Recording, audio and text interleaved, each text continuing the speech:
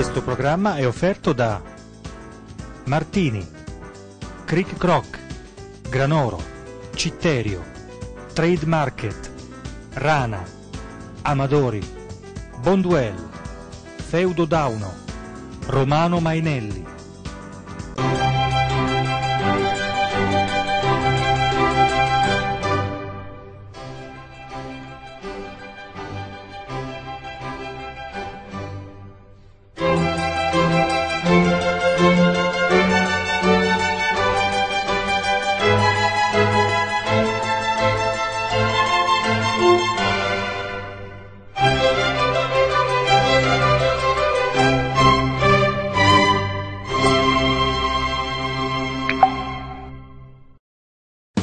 Pannolini, biscottini, latte, omogeneizzati, c'è un po' di tutto nei supermercati per i nostri bambini. Il bambino soprattutto piccolino è il principe della famiglia. Ma quanto è importante il rapporto tra il bambino e i suoi genitori? Lo chiediamo ancora una volta all'esperta.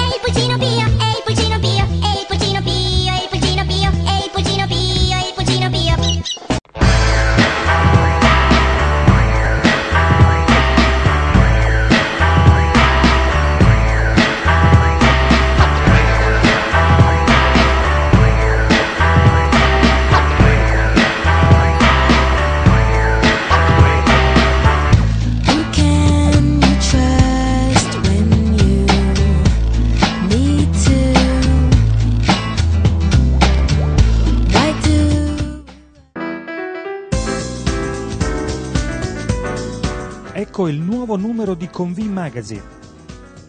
Cucina, il porcino, signore dell'autunno. In cucina, i sapori della natura. Salute, quali sono i rimedi naturali contro il mal di schiena? Scoprilo con i tuoi farmacisti.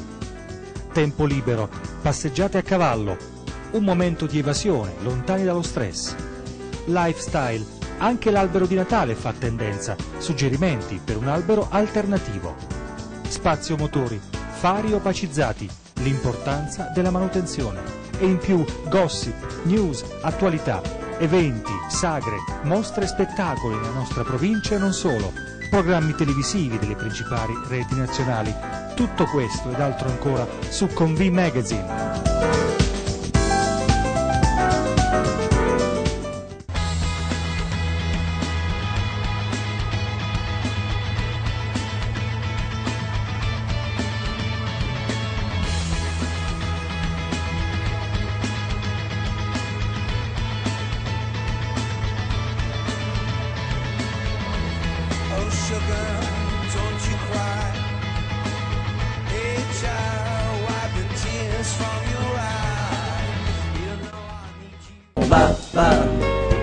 Basulcata ba ba Basulcata tu che ne sai l'hai vista mai. Basulcata insomma mai. Tu che ne sai l'hai vista mai. Basulcata insomma mai. Tu che ne sai l'hai vista mai. Basulcata insomma mai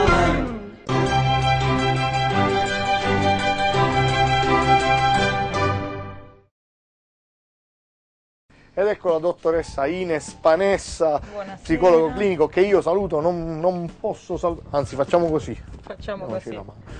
Dottoressa, pannolini, c'è un po' di tutto per i bambini, però ovviamente noi parliamo di un altro punto di vista che non è quello commerciale. Quanto è importante il rapporto tra un bambino, tra un neonato e la sua mamma?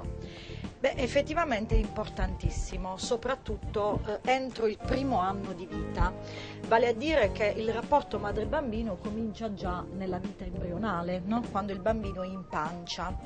Molti pensano che il bambino non senta, non capisca e quindi dicono pensano che non sia importante questa condivisione con la propria mamma e invece è importantissimo perché già dalla vita embrionale il bambino respira, mangia, vive appunto in pancia attraverso il corpo della mamma. Quindi apprende anche. Apprende anche, infatti sono state fatte delle ricerche eh, secondo le quali, insomma i risultati di queste ricerche, secondo quei risultati, eh, descrivevano l'apprendimento della musica classica nell'embrione eh, fin da, da- da subito, insomma, Eh, nel senso che le mamme che si esponevano, le mamme gravide che si esponevano, eh, le donne gravide che si esponevano appunto alla- all'ascolto della musica classica, abituavano i loro bambini questa specie di ninna nanna rilassante. Il neonato poi, una volta nato, era già abituato a questo comportamento appreso, questo comportamento musicale appreso in età embrionale. Oh, una volta nato, Mm. quanto è importante dopo, dopo il taglio del cordone ombelicale Sì. mantenere questo legame? È importantissimo soprattutto nel primo anno di vita perché quel rapporto eh, tra madre e bambino nel primo anno predispone poi alle relazioni future. Vale a dire che il bambino, futuro adolescente, giovane adulto, eccetera, impronterà involontariamente le sue relazioni con l'altro sesso, quindi sentimentali, amicali, eccetera, sulla matrice di quel rapporto che ha avuto durante il primo anno con la mamma. Chiaramente non possiamo ricordarci, perché anche noi siamo stati neonati, e non possiamo ricordare che tipo di rapporto abbiamo avuto.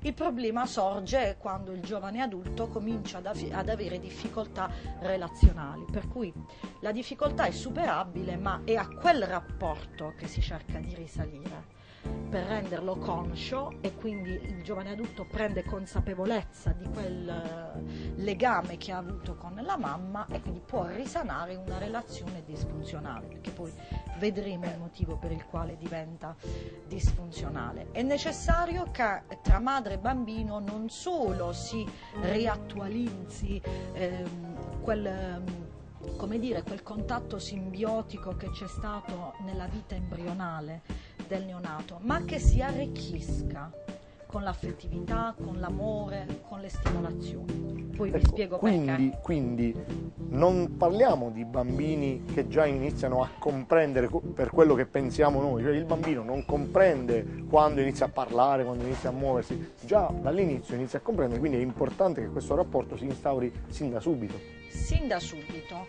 il bambino, il neonato non parla, per cui bisogna chiedersi ma come fanno a capirsi madre e bambino? Attraverso la comunicazione affettiva, perché la mamma che biologicamente è predisposta a comprendere il proprio figliolo eh, deduce dal tipo di pianto, dal tipo di sorriso ciò che il bambino vuole comunicare.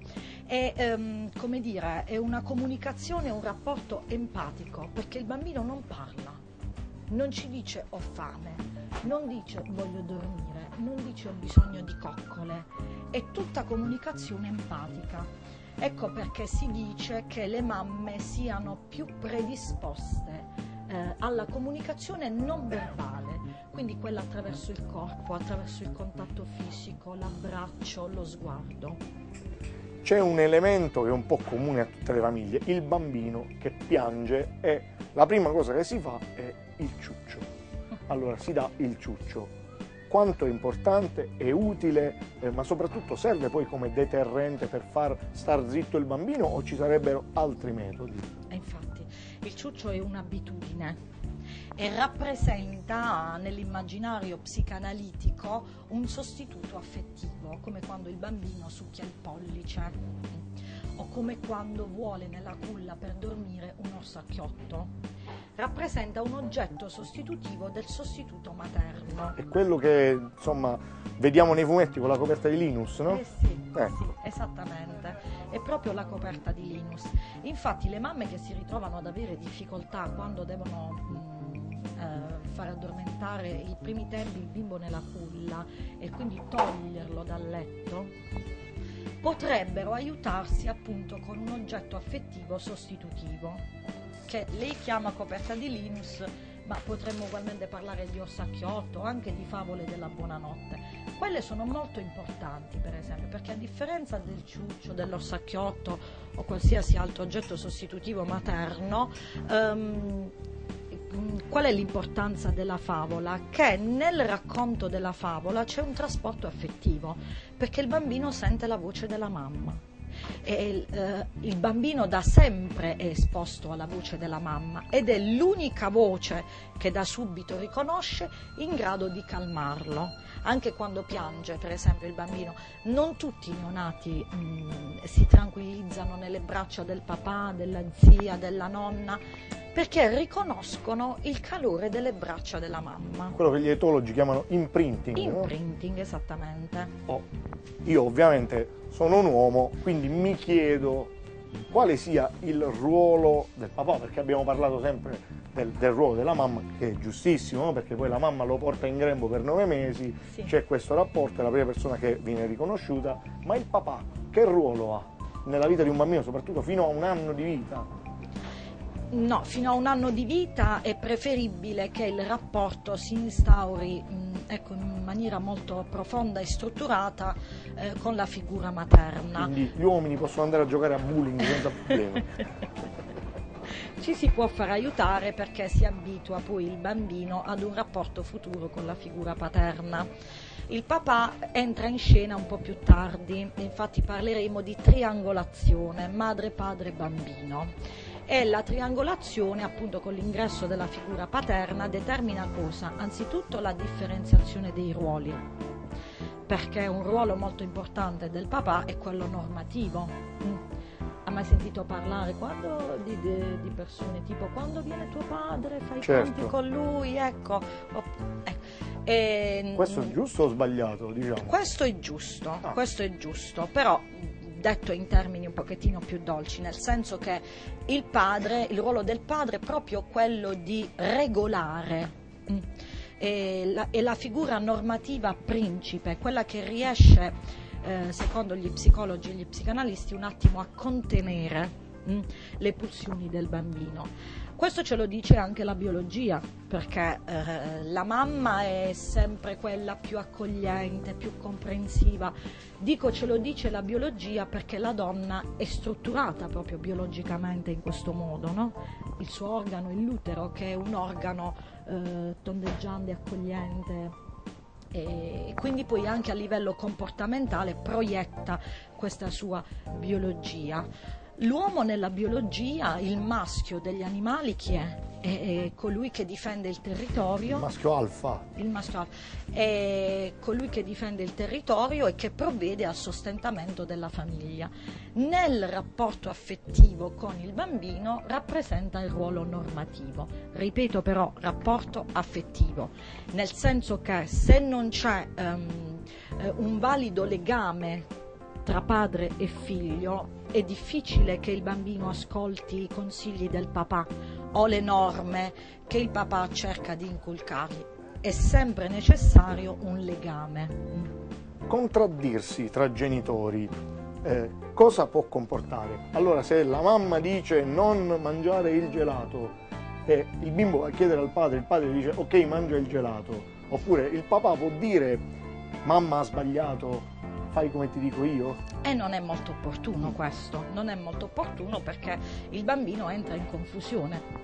Il bambino eh, ama in modo uguale ed è opportuno che sia così sia la mamma sia il papà, ma anche i genitori devono fornire un equilibrio nel relazionarsi con il- al proprio figlio, ecco, tra di loro e al proprio figlio, perché eh, se la mamma mh, cerca di impartire determinate regole e il papà altre, squalifica il lavoro che ha fatto la mamma. E il bambino entra in confusione e, e quindi si chiede cosa faccio, ciò che dice mamma o ciò che dice papà.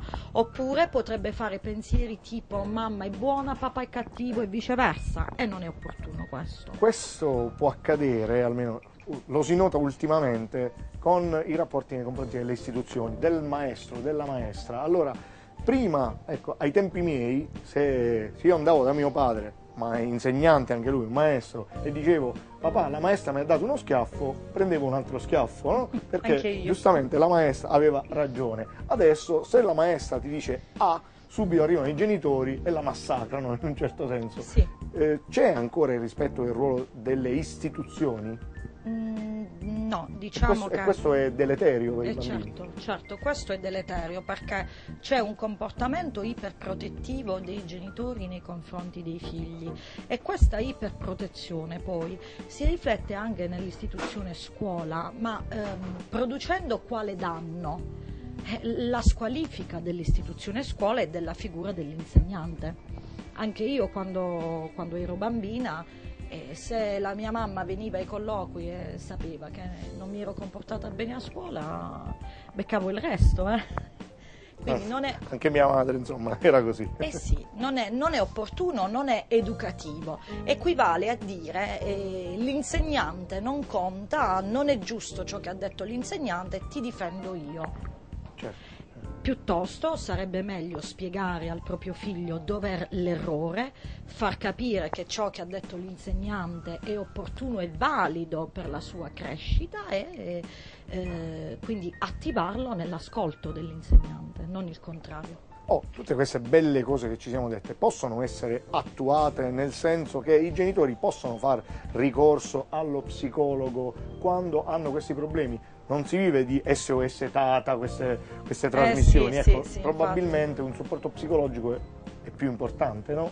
Sì, sicuramente, come dicevo prima, sia per eh, le disfunzioni nel rapporto madre-bambino, sia per la mediazione con l'istituzione scuola è importante, perché nel primo caso, per quanto riguarda il rapporto madre-bambino, abbiamo già detto che se disfunzionale, se non funziona bene, se il bambino è a contatto con una mamma depressa, ecco, per esempio si parla tanto di depressione postpartum. mm? Certo. che ehm, va analizzata per certi versi. Ora non, non- voglio dilungarmi, magari ne parliamo in In un'altra un'altra, puntata. sì, in un'altra puntata. Eh, però in linea generale questo rapporto predispone alle relazioni future. Quindi ci si rivolge sin da subito allo psicologo facendoci, facendosi aiutare se si ha più o meno la consapevolezza del problema, o meglio senza pensare passerà da sola questa cosa. È opportuno farsi aiutare, non bisogna vergognarsi di farsi aiutare. Per quanto poi riguarda il giovane adulto, cioè eh, quel soggetto che ha avuto un rapporto disfunzionale, quindi eh, si trova in difficoltà nelle relazioni in età adulta, anche è opportuno, perché questo è superabile. Basta chiedere aiuto, basta rivolgersi agli esperti che possono direzionare appunto l'affettività. Per quanto riguarda invece il rapporto tra genitori e istituzione scuola, io sono di un avviso, è necessario fare rete, perché se oggi sentiamo parlare di tante difficoltà, problematiche, eccetera, è anche perché non si fa più rete. E quando diciamo eh, l'insegnante è cattivo, ha sbagliato, hai ragione tu, ti ha messo il brutto voto, in quel momento non facciamo rete. Per cui è opportuno farsi aiutare magari mh, dallo psicologo scolastico anche dal clinico per mediare questa rete, così come l'ho chiamata, e produrre dei risultati positivi, perché solo questo tipo di collaborazione può produrre risultati positivi anzitutto per i vostri figli e poi per la futura società, perché i bambini di oggi sono la società di domani. Perfetto, un'ultima domanda. Questo è un periodo frenetico in cui chi ha la possibilità di lavorare, la fortuna di lavorare, Eh, la fortuna. corre, nel senso che va fuori, eh, è costretto a degli spostamenti. Un bambino cresciuto dalla tata o dai nonni cresce in maniera diversa rispetto a quello che invece può essere assistito dalla mamma. dipende dalla qualità dei rapporti, perché i nonni sono importantissimi, nel senso che eh, sono un contorno ecco, del rapporto tra genitori e figli. Sono importanti dal punto di vista affettivo, ma non devono essere sostitutivi dei genitori, genitori. perché eh, appunto si rischia che il bambino si identifichi con la nonna e nei casi più gravi la nonna e il nonno chi che sia e nei casi più gravi la mamma potrebbe non riconoscerla. Eh, io ho trattato diversi casi eh, e mi sono trovata in, queste situazioni. insomma, laddove adolescenti non riconoscevano la figura materna perché cresciuti con eh, la nonna sempre per quella regola dell'amore nel primo anno di vita. Cioè la nonna va bene, ma eh, deve essere eh, compensativa rispetto alla presenza-assenza della mamma che lavora. E il genitore, indipendentemente dal tempo che trascorre con il proprio bambino, deve fare molta attenzione alla qualità del tempo trascorso, perché si può trascorrere un tempo prolungato con il proprio figlio senza qualità, per esempio guardando la televisione senza tenere minimamente in considerazione la presenza del proprio bambino e invece si può trascorrere poco tempo con il proprio figlio ma qualitativamente valido. È importante la condivisione dello sguardo, è importante la condivisione del gioco, quindi mm, eh, va bene il divano la sera, ma non va bene non guardare, non condividere, non parlare, non giocare. Ecco, questo mm, volevo sottolineare questa importanza. Per cui per rispondere alla sua domanda va bene il supporto dei nonni, va bene il supporto della tata, ma questi supporti non devono assolutamente essere sostitutivi di una seppur minima buona qualità del tempo trascorso con la propria mamma. Perfetto, noi ringraziamo come sempre la dottoressa Ines Panessa, ricordiamo che per contattarci e per contattarla potete scrivere alla mail televisione chiocciolaconvi.it oppure www.inespanessa.it ovviamente eh, ci saranno risposte per tutti, c'è la possibilità naturalmente anche di eh, parlare privatamente con eh, la dottoressa, non c'è bisogno soltanto di venire in televisione e parlare, c'è la dottoressa che è a vostra disposizione. Grazie dottoressa, buona giornata e alla prossima puntata. Grazie.